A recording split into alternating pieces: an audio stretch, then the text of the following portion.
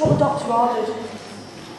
What is it? A cheese and onion pasty? No, it's not bloody cheese and onion pasty. It's not you that spell. What were you talking about yesterday.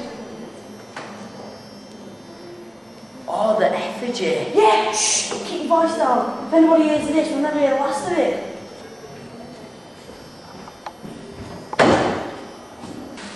You two, what are you fiddling about under the desk? Nothing, miss. Are you sure? Nothing, miss. Uh, honest, miss, it's nothing. What were they talking about, Zion? I'm not sure, they're a bit weird. What are the names? Desmond, Jake. That's the one. I see what he's doing in science.